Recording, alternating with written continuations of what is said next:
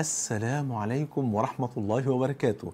بسم الله والحمد لله والصلاة والسلام على حبيبنا وأسوتنا وقدوتنا وشفاعنا رسول الله صلى الله عليه وآله وسلم. كبروا وهللوا وأبشروا بالجنة. اللهم صل وسلم وبارك على حبيبنا محمد صلى الله عليه وآله وسلم الذي ما ترك خيرا إلا ودلنا عليه وما ترك شرا إلا وحذرنا منه. واستمتعوا بهدية النبي صلى الله عليه وسلم في هذا اليوم المبارك. ففي الحديث الذي رواه الطبراني في الأوسط وحسنه الشيخ الألباني في صحيح الجامع أن النبي صلى الله عليه وآله وسلم قال ما أهل مهل قط ولا كبر مكبر قط إلا بشر فقال الصحابة بشر بالجنة يا رسول الله؟ فقال بلى بشر بالجنة. الله أكبر. ما أهل مهل قط؟ دي خاصة بالحجيج. فالحديث فيه بشارتان. بشارة للحجاج وبشارة لغير الحجاج. أما البشارة التي للحجاج فإنها فإن النبي صلى الله عليه وسلم قال ما أهل مهل قط؟ والإهلال يكون للحجاج. حينما يقولون في تلبيتهم لبيك اللهم لبيك لبيك لا شريك لك لبيك إن الحمد والنعمة لك والملك لا شريك لك. فهذا هو إهلال الحجاج. ولذلك البشارة الثانية تأتي وهي التكبير وهي خاصة بفضل الله سبحانه وتعالى لغير الحجاج. فقد قال النبي صلى الله عليه وسلم كما عند أحمد بسند صحيح ما من أيام أعظم عند الله ولا أحب إلى الله العمل فيهن من تلك الأيام العشر. نعمل فيها إيه يا رسول الله؟ قال فأكثروا فيهن من التسبيح والتحميد والتكبير والتهليل. الله أكبر. ما شاء الله.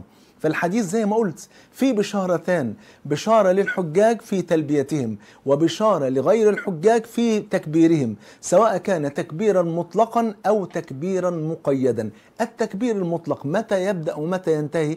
التكبير المطلق أن أنت تكبر في أي وقت هذا لغير الحجاج. يكون متى؟ يكون عند دخول في ليلة واحد ذي الحجة يعني النهارده مثلا 30 ذي القعدة بقينا بعد المغرب واخد بال حضرتك؟ خلاص دخلنا في الليل من هنا يبدأ التكبير من ليل من ليلة واحد ذي الحجة.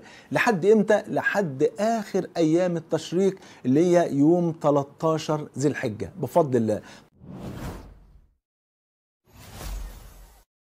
وهذا يكون لغير الحجاج. أما الحجاج فيشترك في البشارة بقى التي تكون في التكبير أو البشارة الثانية اللي هي خاصة بالتكبير يشترك عند رمي جمرة عند رمي الجمرة في يوم النحر حيث يتحول هنا من الإهلال إلى التكبير. الله أكبر.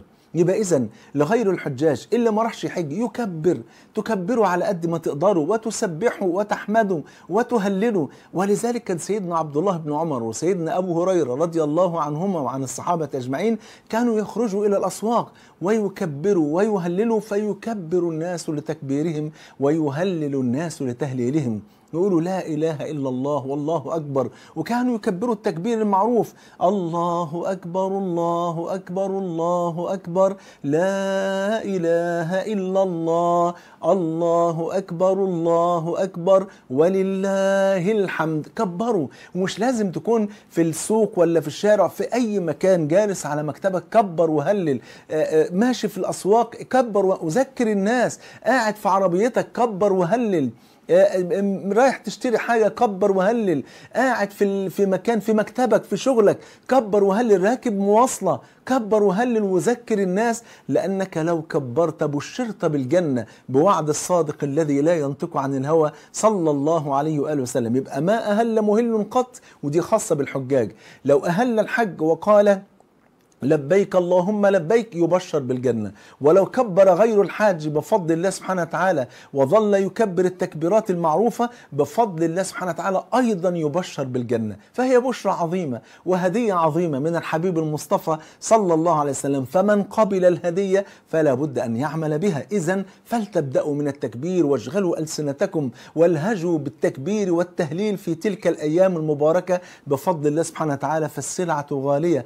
ألا إن سلعة الله غالية. ألا إن سلعة الله هي الجنة. يبقى في تكبير مطلق يبدأ من ليلة واحد ذي الحجة لحد يوم 13 ذي الحجة على قرب المغرب كده. وبعدين والتكبير الم- المقيد يبدأ من فجر يوم عرفات تمام؟ وبيكون التكبير بفضل الله سبحانه وتعالى. دبر كل الصلوات المكتوبة. يعني بعد ما نصلي الفجر نكبر ثلاث مرات. بعد الظهر كذلك نكبر. بعد العصر بعد المغرب بعد العشاء بفضل الله سبحانه وتعالى. وهذا يكون بفضل الله سبحانه وتعالى في هذه الأيام. من فجر يوم عرفة لحد إيه؟ لحد يعني غروب شمس يوم 13 ذي الحجة بفضل الله سبحانه وتعالى فاقبلوا هذه البشرى واقبلوا هذه الهدية وأبشروا إن شاء الله بوعد الصادق الذي لا ينطق عن الهوى صلى الله عليه وسلم حيث قال ما أهل مهل قط ولا كبر مكبر قط إلا بشر بالجنة. جعلني الله وإياكم من أهل الفردوس الأعلى بصحبة الحبيب المصطفى صلى الله عليه وسلم بحبكم في الله والسلام عليكم ورحمة الله وبركاته. ah